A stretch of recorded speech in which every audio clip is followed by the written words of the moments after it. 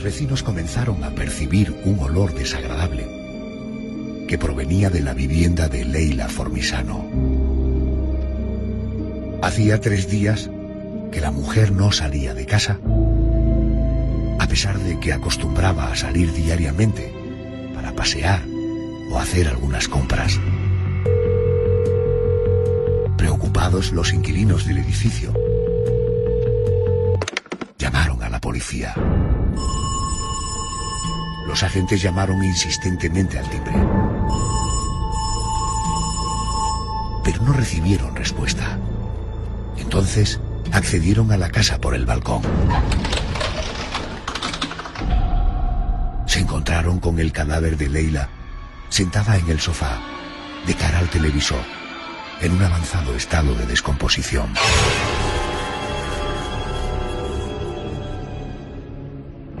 El médico determinó que la mujer había fallecido por infarto de miocardio.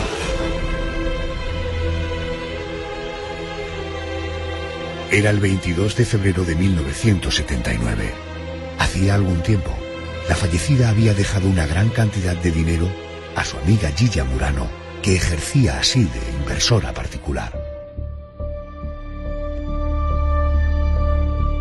Aquel suceso no habría tenido mayor trascendencia, de no ser porque apenas unos días antes, Nilda Gamba, otra acreedora de Gilla, había muerto padeciendo grandes dolores estomacales. Y apenas un mes después, murió en extrañas circunstancias Carmen Zulema, prima de Gilla Murano. La mujer le había dejado en depósito 22 millones de pesos.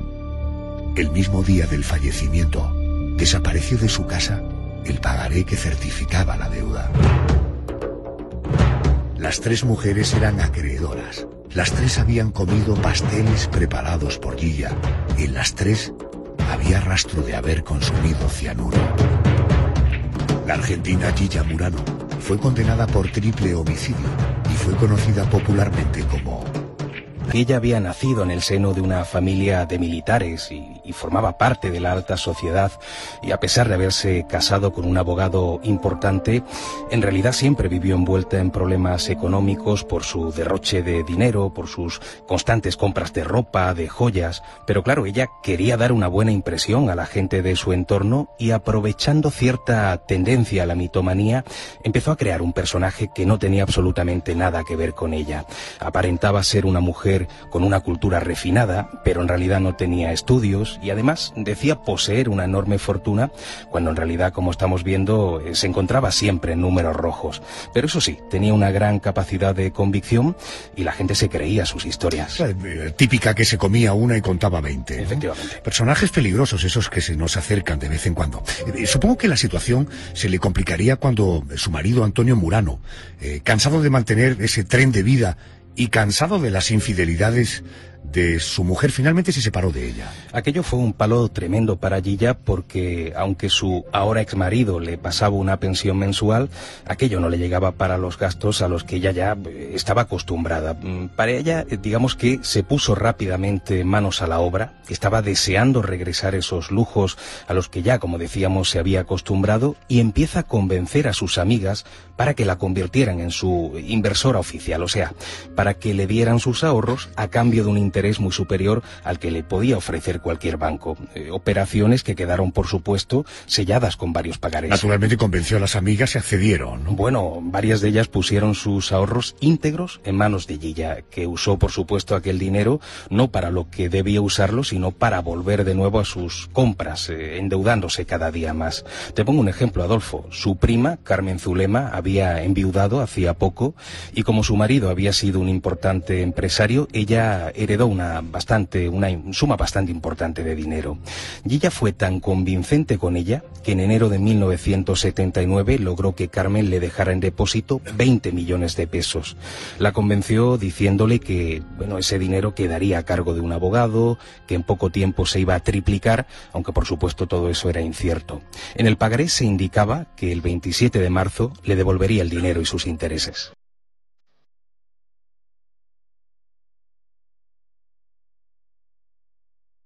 El primer acontecimiento sospechoso tuvo lugar en febrero de 1979. Una de las acreedoras de Gilla, su amiga Nilda Gamba, fue a cenar a su casa. Al día siguiente, el sábado 10 de febrero de aquel año 79, comenzó a sentirse mal. Le dolía la cabeza y el estómago, y vomitaba continuamente. La propia Gilla se ofreció a estar a su lado cuidándola.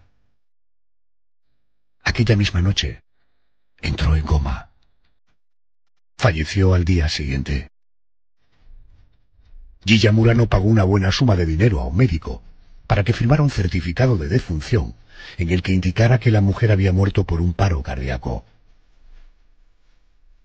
José Manuel, este no fue el único caso de muerte extraña de una acreedora de Gilla, ¿no?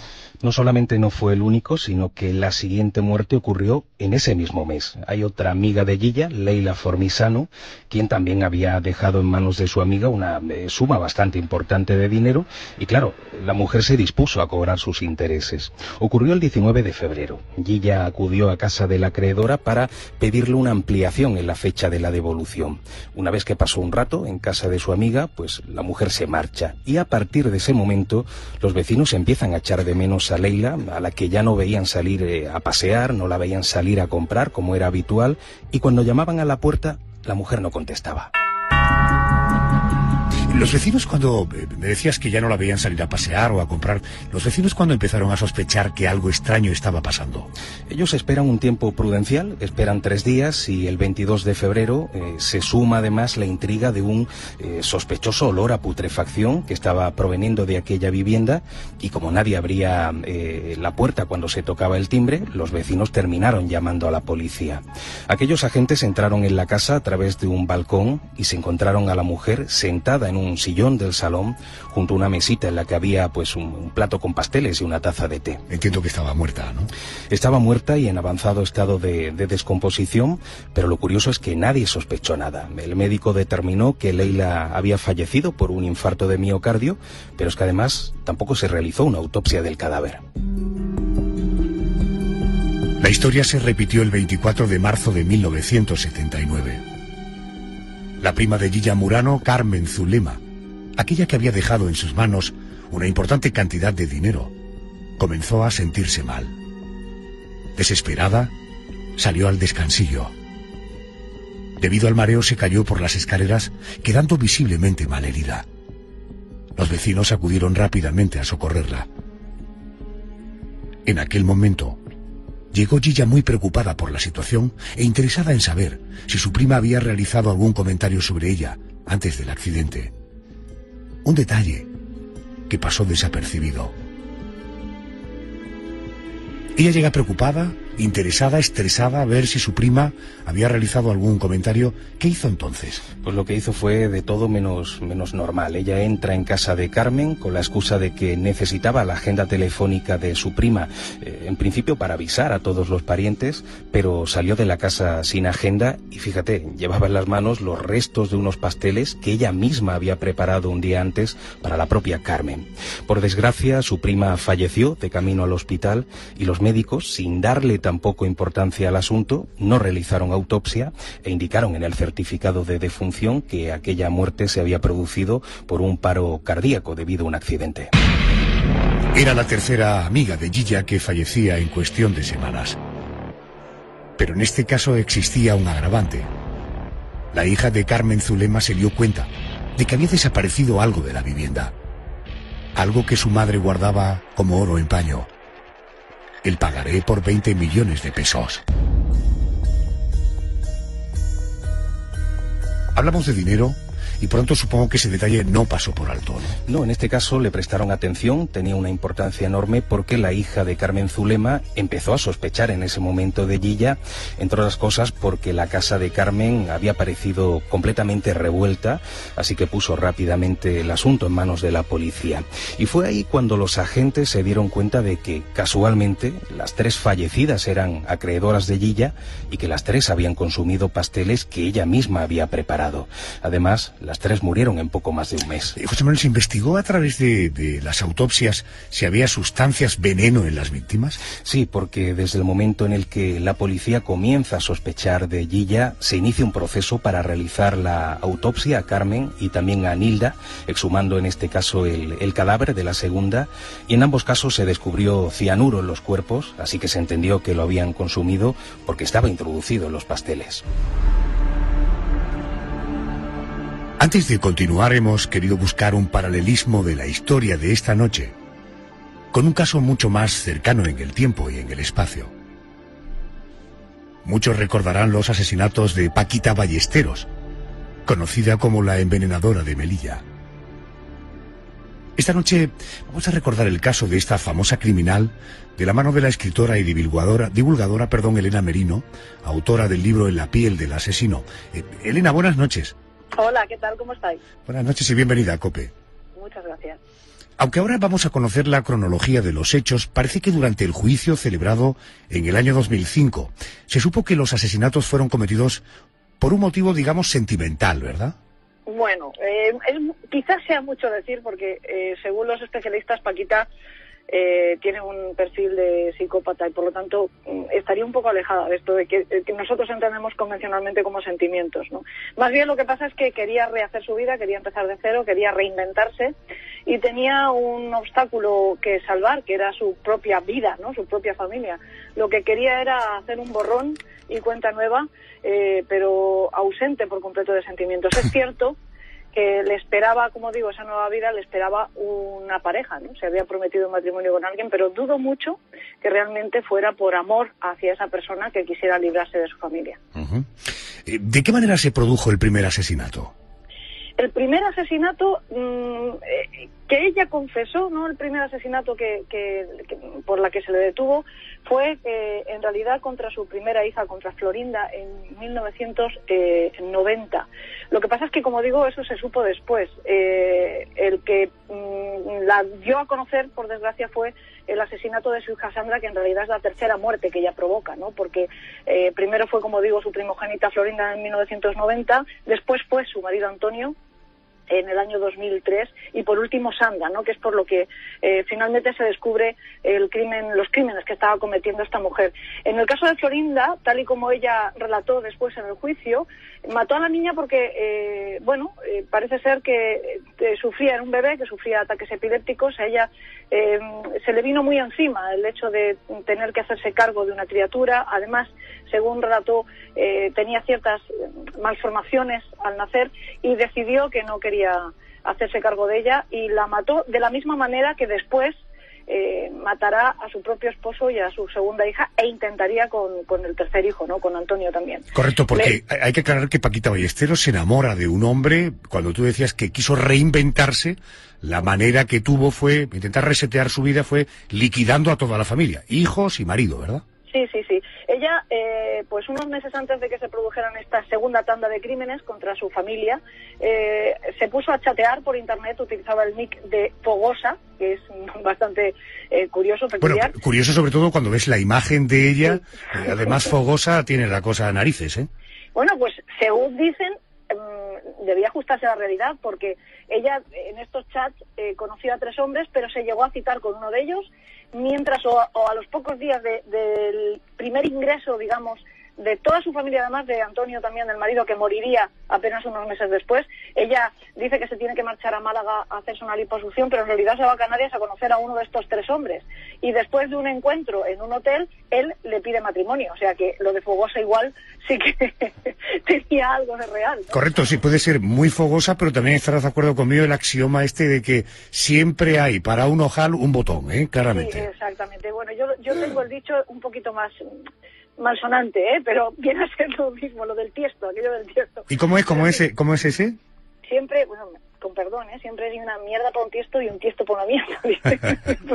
Oye, la asesina, eh, esta tal Paquita Ballesteros, sí. ¿usaba siempre las mismas sustancias para intoxicar a sus víctimas? Sí, sí, es un medicamento. A mí no me suele gustar, aunque es verdad que, que las crónicas aparece, pero no me suele gustar revelar cuál es la sustancia, porque en este caso es un medicamento que es un antagonista del alcohol. Ella lo conocía porque su padre, que también ella es sospechosa de haber matado a su padre e incluso a varios de sus hermanos. Incluso su madre sospechosa de haber matado a su padre, porque eh, esta, este medicamento en concreto, que como digo es un antagonista del alcohol, se suele suministrar a personas que sufren alcoholismo, pero eh, puede provocar unos efectos secundarios terribles, incluso mortales, en el caso de que se siga consumiendo alcohol. Eh, es tan, entre comillas, sencillo como suministrar esto a alguien que no sabe que lo está tomando y que, por ejemplo, es consumidor social de alcohol. No hace falta que tomes una gran cantidad porque incluso interactúa con el pequeño eh, chorrito que le echas al guiso, ¿no? El pequeño chorrito de vino, el pequeño chorrito de coñac, ya te puede provocar vómitos, eh, escalofríos y de ahí para adelante. Para que te hagas una idea, Sandra, que es la última víctima de Paquita, porque Antonio, que es el niño pequeño de 12 años, sobrevivió, pero Sandra, que tenía 15 años cuando fallece, que es su hija, eh, muere con 15 años de cirrosis hepática, que es un diagnóstico demasiado extraño para, para una niña de, mm. esa edad. Estoy hablando con Elena Merino, escritora, divulgadora, autora del libro La piel del asesino. Estamos recordando el caso de Paquita Ballesteros porque puede tener eh, rasgos de similitud con el expediente de esta noche. Oye, eh, Elena, a pesar de que pasó tiempo entre un asesinato y otro, eh, los médicos que trataron a los que en principio eran enfermos y luego víctimas no sospecharon nada. No sospecharon porque la primera vez que la familia eh, Antonio y sus dos hijos eh, son hospitalizados, mm, Paquita lo que dice es que efectivamente los diagnostican una intoxicación, pero Paquita lo que dice es que ha fumigado recientemente el piso y que eso les debe de haber afectado. Posteriormente, Antonio, que parece que no le levanta cabeza, eh, acaba muriendo y, se certifica que ha sido por un paro cardíaco. Ah, Antonio, el, marido, ¿verdad? El marido, el marido, efectivamente. Se dice que ha sido por un paro cardíaco. En el momento en el que Sandra es ingresada y a las pocas horas fallece, entonces sí que se da la voz de alarma porque además Sandra es ingresada porque un vecino de la zona, un comerciante, el carnicero, eh, Juan Aguilar, acude a la casa para cobrar una deuda y Paquita se disculpa la tardanza diciendo que ha tenido dos nenes enfermos y le permite entrar para verlos. Y entonces este hombre inmediatamente pone la voz de alarma eh, la, ambulancia acude, se lleva a Sandra y, como digo, apenas unas horas después de llegar al, hospital, fallece. Como el niño está igual y tiene eh, síntomas similares, y claro, esto ya sí despierta las sospechas de, las autoridades que llegan a pedir la exhumación de Florinda, esa bebé que mató en primer lugar, y de Antonio, pero eh, la sustancia que ella utilizó para envenenarlos, al cabo de pocas horas, además de que es insípida, eh, inodora, etcétera, mm, al cabo de las pocas horas desaparece del organismo y no se le pudo, no se le pudo eh, encontrar, por ejemplo, en Florinda, pero sin embargo, gracias a su a su confesión sí se le sí se le condena por la muerte de esta niña. ¿Y cómo y cuándo se descubre la tendencia criminal de Paquita Ballesteros? Pues me temo que cuando llega al final de la historia, ¿no? Cuando esta chica Sandra es ingresada, las autoridades se dan cuenta de que no es un no, es por un proceso normal en una niña de 15 años, además el hermano, como digo, también tiene que ser ingresado de urgencia y, sobrevive mm, casi milagrosamente, es cuando detienen a Paquita a los pocos días. De, la niña muere, eh, Sandra muere el día 4 de junio y el 6 de junio es cuando es detenida la madre y ella misma confiesa en, la comisaría confiesa que ha matado a Florinda, Florinda y, que ha, matado también a su hija. Y es en ese momento cuando se descubre eh, quién es Paquita Ballesteros en realidad, ¿no? En ese momento y lógicamente después en la instrucción del caso hasta llegar a juicio, ¿no? Porque ella va a cambiar varias veces la, la explicación de los crímenes, va a alegar distintas, distintos motivos, desde que su marido le pegaba, y que ella casi emplea este método como defensa propia hasta que intentó matar a sus hijos porque ella se quería suicidar y que era como una especie de suicidio, eh, ¿cómo se dice? Ahora no me sale el, término, pero expandido, ¿no? Por, por misericordia que llaman, ¿no? Es decir, como no quiero dejarlos solos en el mundo porque no hay nadie más que les quiera y yo me voy a quitar de en medio, pues me los llevo conmigo, ¿no? Todo esto después quedó demostrado que no era así. Como te digo, los peritos, eh, psicólogos y psiquiatras forenses, eh, pues certifican que esta mujer estaba en pleno uso de sus facultades y que más bien tiene eh, rasgos psicopáticos más que de, ningún tipo de trastorno mental, ¿no? Es decir, que sabía perfectamente lo que hacía, lo que quería era librarse de un estorbo, entre comillas, para ella es lo que eran estas personas, las cosificó por, por completo y simplemente quería empezar de cero y tenía que reinventarse. Para eso tenía que eh, formatear por completo su vida y borrar de, de, en medio de su familia. Además hay otra cosa. Se sabe que eh, para llevar a cabo esto ella quería dejar de tener que pagar la hipoteca, poder librarse de su casa y para eso era importante acabar con la vida de Antonio y de su marido, puesto que el seguro se hacía cargo de la hipoteca. O sea que también había detrás un cierto móvil económico. ¿Y qué condena impuso el juez a esta mujer?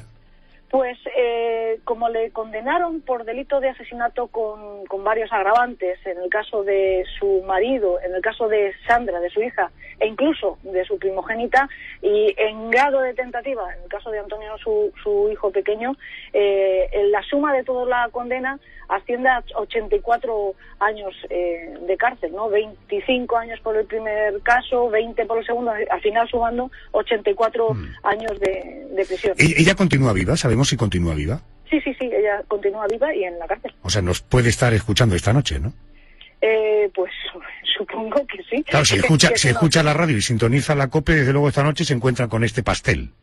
Oye, no sería la primera vez que yo me llevo una sorpresa de ese tipo. La más exótica que me ha pasado es que recibí un like en Twitter de un asesino en serie famosísimo inglés, en cierta ocasión que yo hablé de él en mi programa de radio, eh, y me encontré un like a un Twitter y un retweet. Eso, te, que... eso te pasa por tener esos amigos. Eso me pasa por tener esos amigos. A mí me parece de lo más exótico. Sé que no fue él, debió de ser algún representante, pero de repente encontrártelo mm, es escalofriante. ¿eh? Sin duda. Elena, gracias por atenderme. Un beso fuerte. Un beso. Gracias, gracias. Cope y Editorial Secotia presentan El Hotel de los Horrores. Ya está a la venta la tercera entrega del coleccionable Mi expediente favorito. El Hotel de los Horrores, una crónica negra seleccionada del programa La Noche de Adolfo Arjona. Consigue tu ejemplar en librerías. Entra en miexpedientefavorito.com y forma parte de un exclusivo club con el que conseguirás regalos de miedo.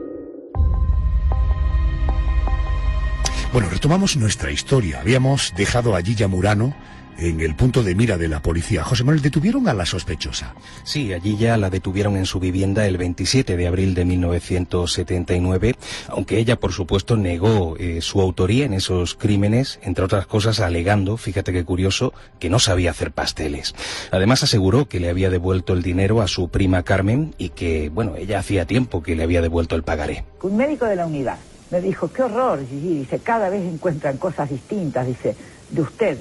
Y después me dijo, eso es una cosa que se toma y la gente queda muerta. Yo llegué con mi paquete de masas, como hacía siempre que iba a cualquier lado.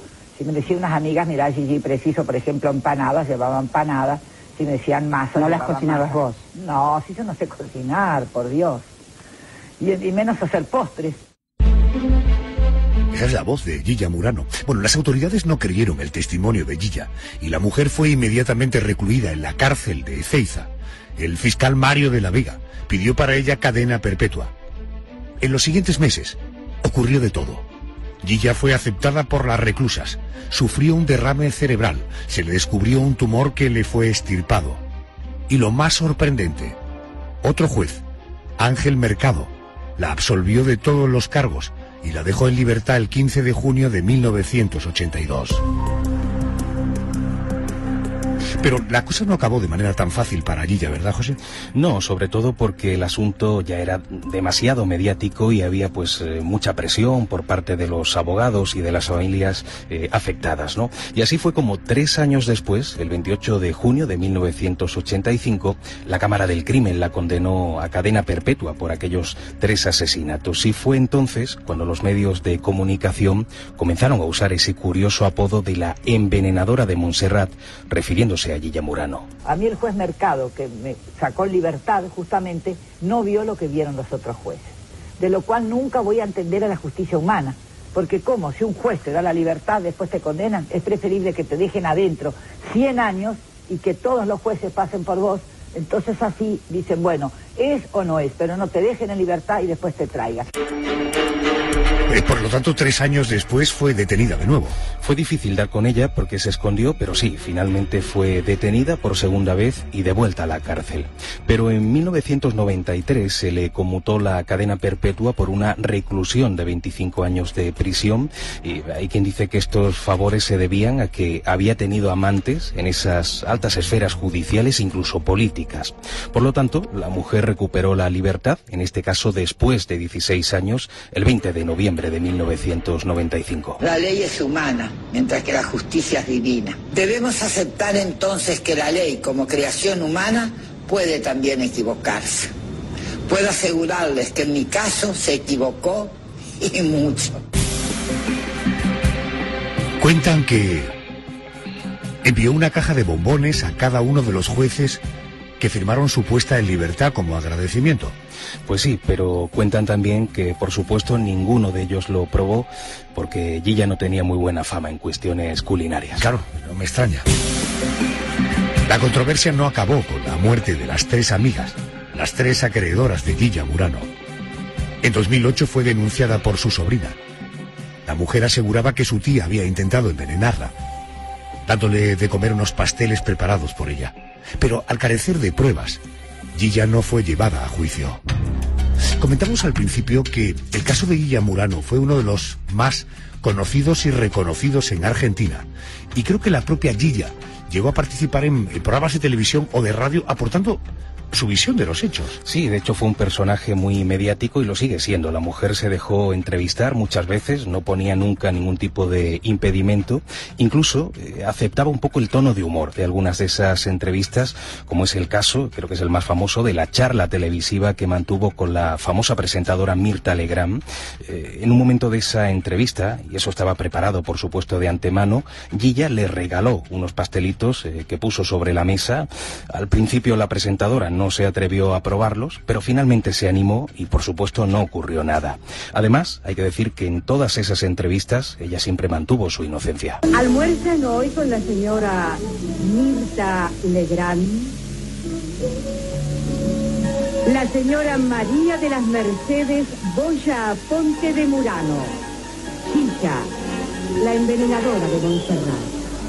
No se mueva de este canal porque hoy puede pasar cualquier cosa, ¿eh? Madre mía, este programa de Mirta Legrand además era un programa donde de cocina, se sentaban a comer. En fin, pero si se llevaban a cabo entrevistas así en tono de humor, eso significa que en el fondo la, la- la opinión pública le era favorable, ¿verdad? Sí, eso es lo curioso y lo que me cuesta entender, porque eh, por una parte la gente creía que realmente era una asesina, pero el caso es que terminó convirtiéndose en una especie de, de- de estrella, de mito. Eh, tuvo un club de fans, tuvo una legión de seguidores que estaban locos por conseguir un autógrafo de la envenenadora de Montserrat. Bueno, más allá de ese efecto extraño que le profesan, me imagino que su figura habrá inspirado eh, libros o guiones de televisión, ¿no? Hay mucho material en el ámbito televisivo. En el año 2006, Gilla apareció representada en la serie Mujeres Asesinas de Canal 13. Allí su papel lo interpretó la actriz Nacha Guevara, aunque la propia Gilla aparece al final del capítulo de nuevo defendiendo su inocencia. Aquella misma serie, Mujeres Asesinas, se adaptó en México y el papel de Gilla lo interpretó en este caso la actriz Patricia Reyes, pero ya un poquito más eh, recientemente, a mediados de 2007, hace bien poco, la serie Irreversible, creada en Chile y dirigida por Carlos Pinto, basó también un capítulo en ella. Y a principios de 2016 se realizó un famoso musical dedicado exclusivamente a su figura, basado en un libreto de Osvaldo Bazán. La envenenadora de Montserrat, un gusto, un gusto a cianuro. Una no es una solamente, una es muchas mujeres. A mí me pasa.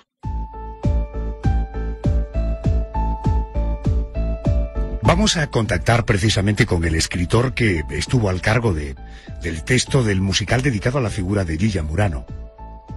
Es mi colega Osvaldo Bazán. Muy buenas noches. Hola, ¿qué tal? ¿Cómo estás? Buenas noches. Oye, eh, eh, ¿cómo nace la idea de hacer un musical dedicado precisamente a la figura de una mujer que fue condenado a- condenada por asesina? Supongo que por eh, su popularidad y por la proyección mediática de su vida, ¿no? Suponés muy bien. En principio, eh, Gilla Murano es un personaje que está en la memoria colectiva de la Argentina. Todos saben, todos recuerdan aquel caso porque, bueno, asesinos hay muchos, asesinos seriales hay menos, pero hay muchos. Eh, señoras que hayan matado a sus tres mejores amigas, no hay muchas. Y mm, eh, en el momento en que esto ocurrió, en el año 1979, fue un gran caso y que siguió por mucho tiempo.